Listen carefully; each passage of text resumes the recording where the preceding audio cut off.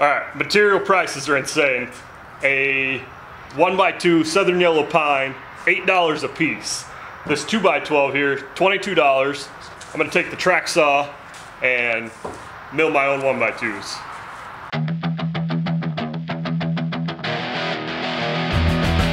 Time for a new blade. We end up with 12 one by twos from this process. Uh, cost savings of about $74 over buying Southern Yellow Pine. These are uh, Douglas fir. They've got a nice straight grain, and probably six of them are really high quality straight pieces. I got a whole stack of foam here. Now the plan is to work on the roof panels, the back wall, and the roof spars.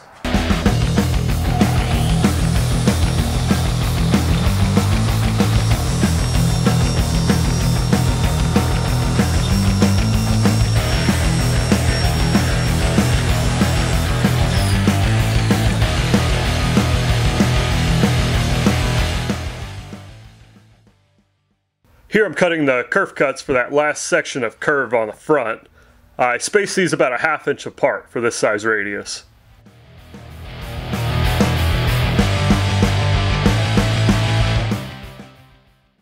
You can see when I'm pushing this around the shop, uh, it's really nice to have those sacrificial runners on the bottom. This is an offcut, uh, about a quarter inch thick of that 2 inch XPS foam, and you can really see the flexibility. I'm cutting the rough radius for the edges of the roof panel. This process creates an absolute mess. Here I'm using a power planer to remove the bulk of the material for the rear overhang spoiler thing.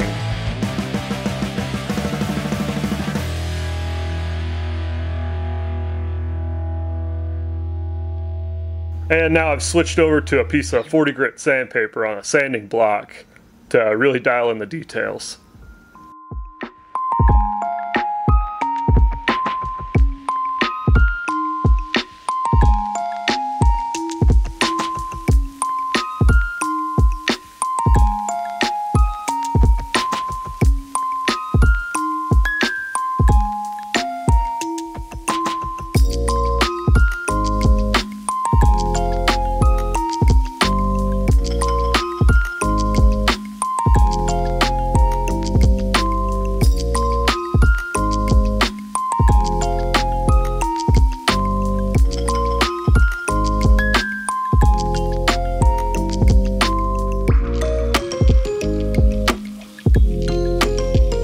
Onto the top side. A small radius like this with the 40 grit paper goes relatively quickly.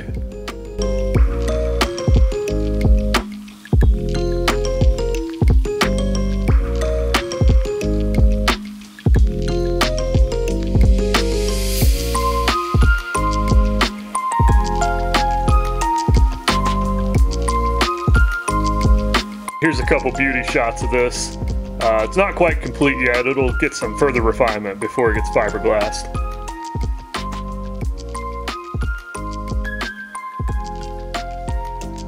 Now I'm bonding on that last bit of radius for the roof section. Uh, I'm using epoxy thickened with 3M glass micro balloons here. Uh, thickens it up to a nice uh, consistency so it doesn't run out of vertical surfaces and fills you know small voids that sort of thing.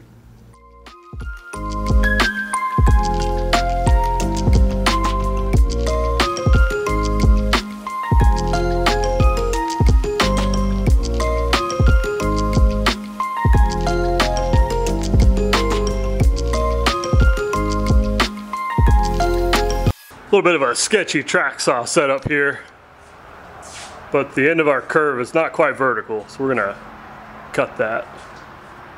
And it'll get rid of this little bit of extra in the middle.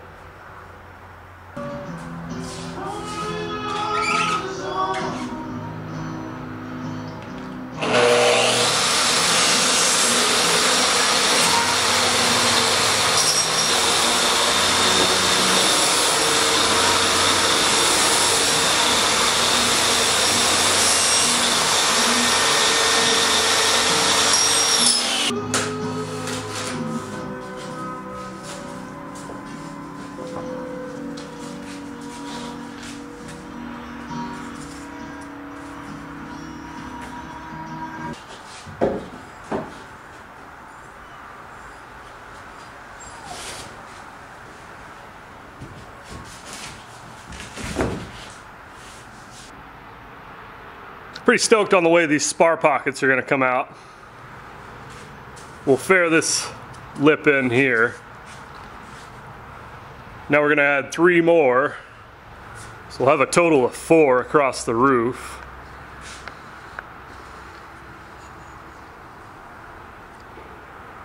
I think that's going to add some good strength. Here I'm making a saw cut on either side of the spar locations uh, to the depth of the spar and I'll go back off camera with the router and hog out the rest of the material. Need about a dozen more cats. They'd have this place cleaned up in no time.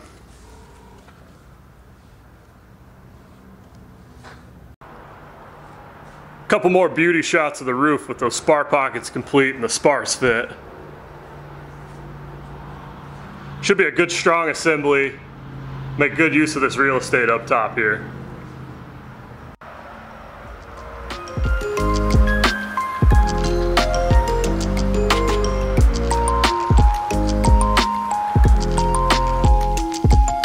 This next series of clips and still images covers the production of the hard points that I use to attach the sacrificial runners on the bottom and I'll be using these in various other locations for mount points.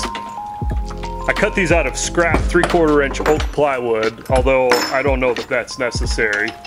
Uh, and the backside gets a relief cut so that the T-nut sits flush. Uh, I'm using quarter 20 T-nuts here.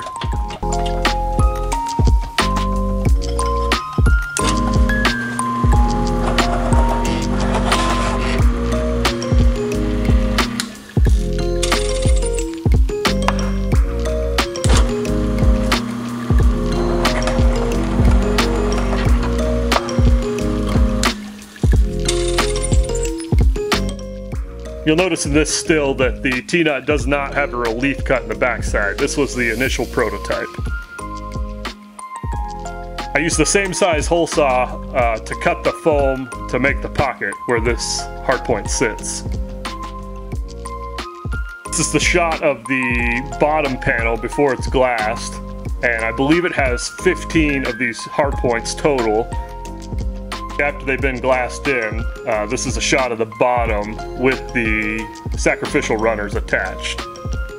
And here's another still shot of the bottom panel uh, with all the runners in place. You can see that uh, when you move this thing around uh, across the concrete, sliding it in and out of the truck, that those will wear first and they're a replaceable item.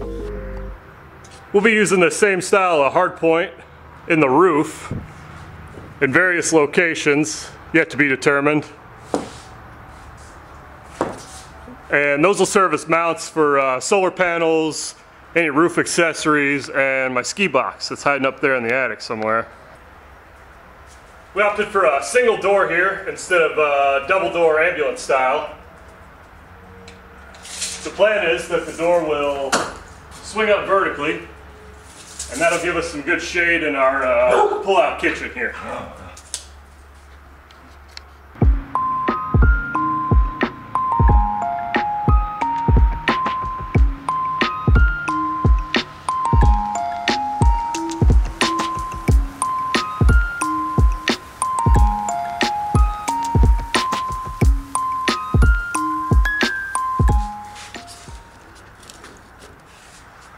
This is a side profile shot of that same door opening and this kind of illustrates the different elevations.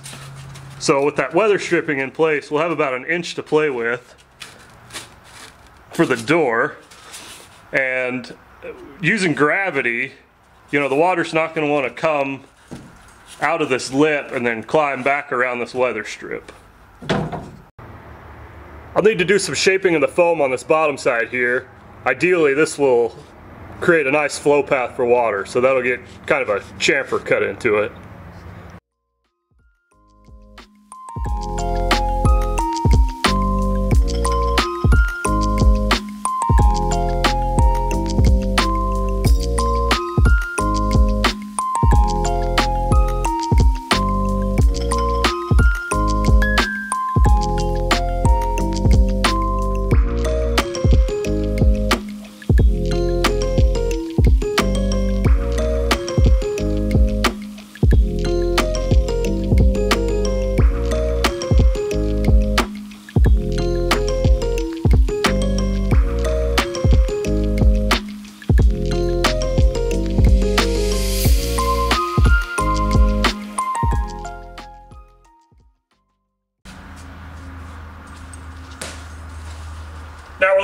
Inside of that rear door panel. Uh, the layup you just watched is covering that. I used all scraps in this. Uh, I don't remember a, a, total layer count or anything. Uh, the flange itself, I think, is uh, eight plies of seven ounce glass, uh, but that's really just a guess.